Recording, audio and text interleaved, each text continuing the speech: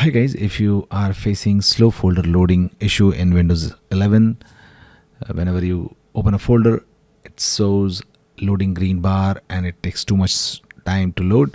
So here is how to fix it. Let's move to first method. First and uh, one of the best step is if there are too many images in your folder what you can do you can you know just reduce the number of images in the folder. What you can do you can select all the images okay?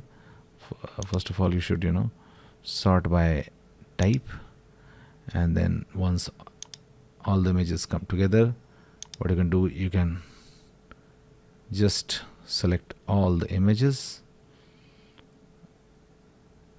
just cut them okay and now create a new folder inside that particular folder and put all the images inside that folder. Okay?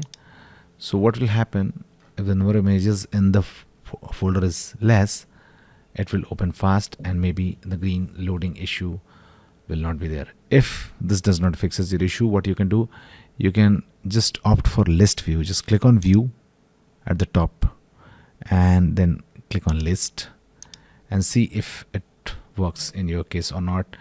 If you're trying to open this folder the green loading bar issue has been fixed or not.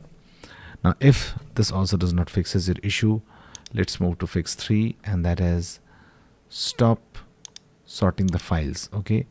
Many times if you sort by date or size it you know um, makes the file explorer slow.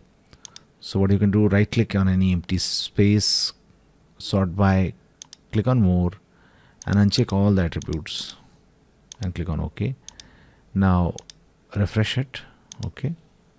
Just press F5 and then you can see that the issue has been resolved or not. If this does not fixes the issue let's move to another method and that is what you can do just come outside the folder right click on that particular folder which with which you are facing the problem. Now click on properties. Now click on customize tab. Okay? And now optimize this folder for general items. Okay? Just select optimize this folder for general items. Okay? Now click on apply and click on ok and now try to open it and your issue will be fixed.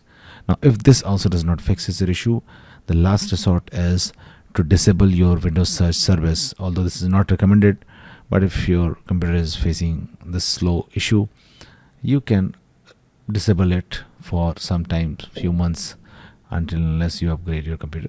So what you can do just search services and click on services. Now locate Windows search. Okay. Double click on Windows search and choose disabled click on stop click on apply and click on ok and now try to open the folder again and your problem will be fixed. That's it guys. Please do like the video to support us